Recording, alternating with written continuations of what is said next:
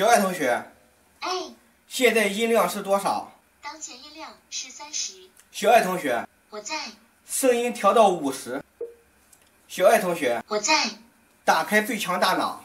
欢迎来到最强大脑，请认真听完问题后回答，正确或错误。不想玩可以说退出。保持安静，开始挑战吧。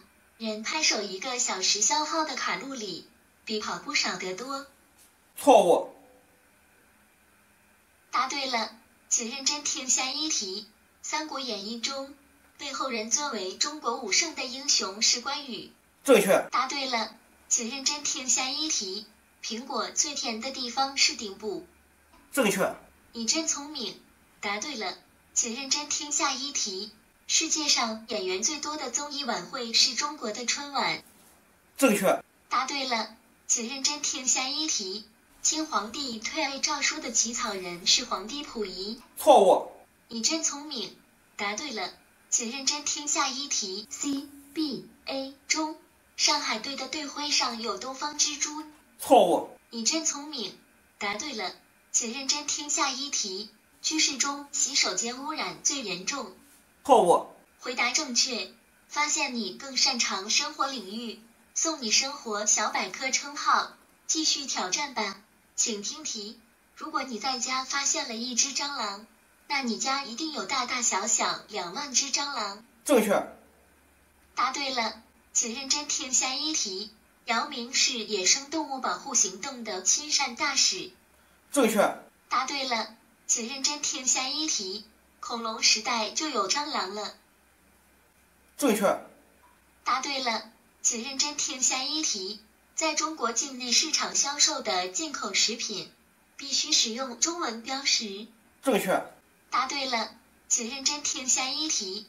唐三彩中的三彩，主要是指黄、绿、蓝。错误。好的，你跳过，是黄、绿、褐。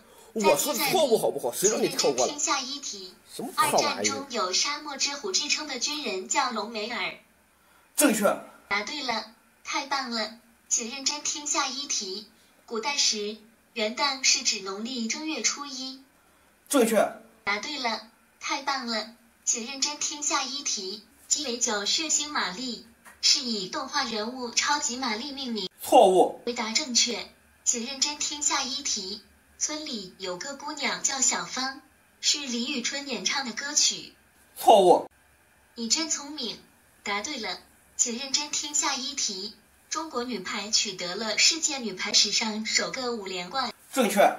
答对了，太棒了，请认真听下一题。姚明和刘翔都是上海人。正确。你真聪明。答对了，请认真听下一题。男女表演者随着音乐节奏东张西望的舞蹈是探戈。正确。回答正确，请认真听下一题。一九一五年，帮助蔡锷逃离北京的女人是小凤仙。正确。回答正确，请认真听下一题。海水是蓝色的。错误。你真聪明。答对了，请认真听下一题。人类的鼻子和耳朵是一生都会持续长大的。正确。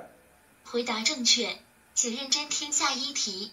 哪吒还有两个兄弟叫金吒和木吒。正确。回答正确。请认真听下一题。世界上第一辆自行车的前轮比后轮大。错误。回答正确。请认真听下一题。吃鼻屎有益健康。错误。回答正确。请认真听下一题。被誉为开眼看世界第一人的是李泽徐。正确。答对了。请认真听下一题。水仙花是中国十大名花之一。正确。你真聪明。答对了。请认真听下一题。伊拉克首都是巴格达。正确。你真聪明。答对了。请认真听下一题。梅艳芳凭借电影《阮玲玉》一举夺得柏林国际电影节影后。错误。回答正确。请认真听下一题。新中国的第一部法律是婚姻法。正确。答对了，太棒了。请认真听下一题。中国古代最早提到小孔成像原理的著作是《天工开物》。错误。回答正确，发现你更擅长文学领域，送你唯一小清新称号。继续挑战吧，请听题：小说《天龙八部》中，阿紫的眼睛是被倪匡写瞎的，金庸很心痛。正确。你真聪明，答对了，请认真听下一题。小沈阳原名沈鹤。正确。你真聪明，答对了，请认真听下一题。中国第一家星巴克北京国贸店因付不起租金，于二零一三年停业。正确。你真聪明，答对了，请认真听下一题。小说《挪威的森林》的作者是伍伯。错误。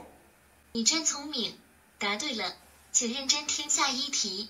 冻疮是由于皮肤毛细血管受损而引起的。正确。回答正确，请认真听下一题。小爱同学。哎。退出。本轮游戏一共答对了三十五题，打败了全国百分之一百的用户。获得最强大脑称号，期待你的再次挑战。人皮不